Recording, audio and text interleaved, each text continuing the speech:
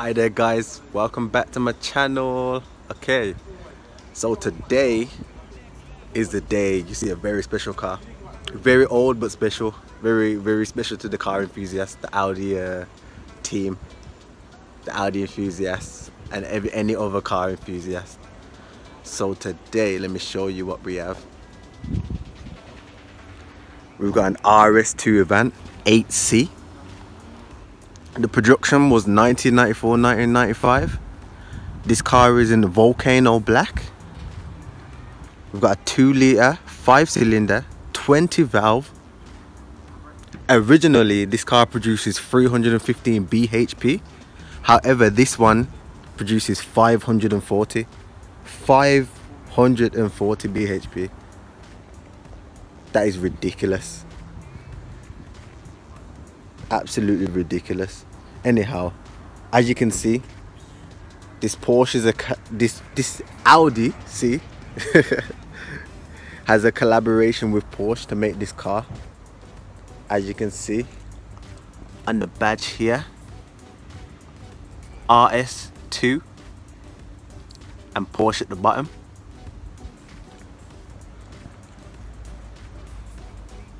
The Audi logo here has been sprayed black which looks very nice. This car isn't the prettiest car but it is a classic at the end of the day. And I do I do love it. As you can see let's let's have a quick walk around the car so you can see what I mean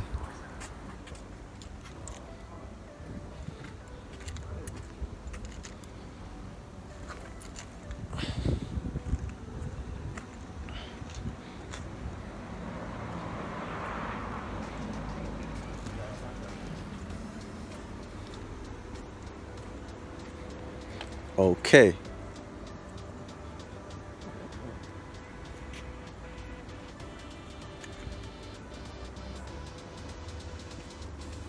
So as you can see this car is not stock. It's got the upgraded headlight covers in gloss black, volcano black even.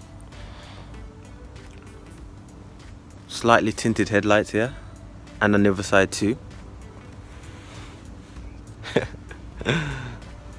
The silent but deadly intercooler just sticking out at the bottom there.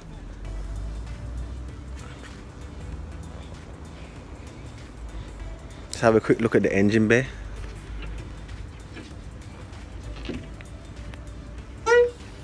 Very heavy bonnet. Oh my. So as you guys can see, we've got a big upgraded turbo right here with the big with the upgraded pipes and the custom air filter just down the bottom there. You can see the huge wastegate just sticking out of the sticking out from beside the turbo. And the upgraded piping with the uh, heat covering. Yeah. We got we got upgraded inlet manifold. Upgraded fuel pipe fuel pump. Um, inlet manifold rolling all the way down to the intercooler. Right here. Um, when I get the name of all the parts and everything that has been done to the car you got the struts here yeah? So everything that everything that's been upgraded with the car um, I'll put in the description below because at this moment I don't specifically know. So um, when I know I'll make sure it's in the description as you can see we come to the side of the bumper and it's got some fin looking fin shaped gills at the side of the bumper. It has that old school retro look to it. We come to the alloy wheels. These are not the original alloy wheels. The what the, the car was meant to have a Carrera Cup Sport 17 inch alloy wheels but it has these aftermarket five spoke alloy wheels um, everything else is the same. It has a 315 millimeter, sorry, 345 millimeter discs, vented discs, with the big red Porsche caliper.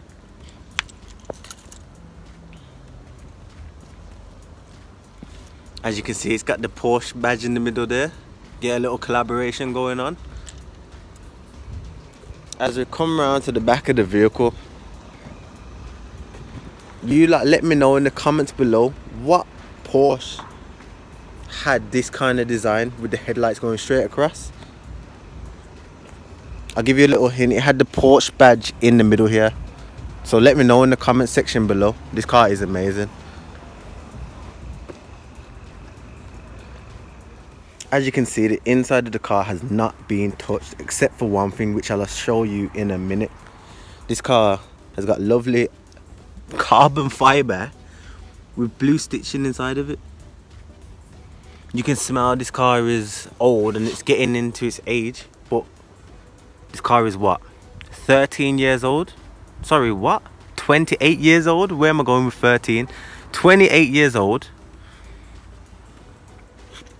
And the condition isn't that bad, to be fair. The only thing that's aftermarket in this car is the stereo and also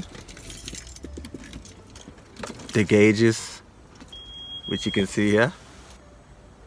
Why? temperature gauge up here.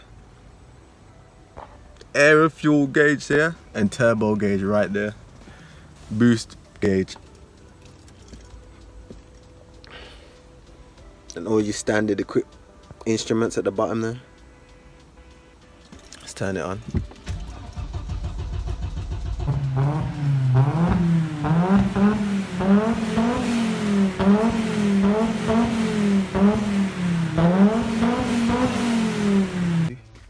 comes with a differential button when you press this button it locks the the back differential in a slidey so you don't slide so the back doesn't slide out because this car's got a lot of power it comes with a lot of power standard um, yeah as you can see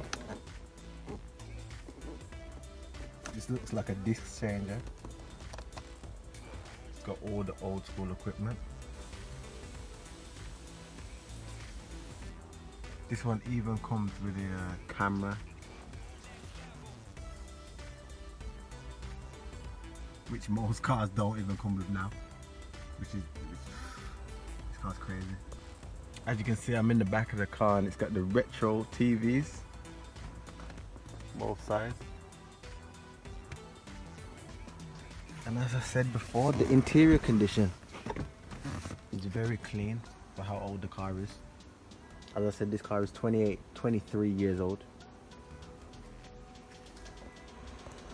overall this RS2 is a bad boy car for you car, for you people who don't know about it it's a bad boy car and it, the price will be going up every time you see another one of these so if you can invest in one um, Thank you for watching, like and subscribe.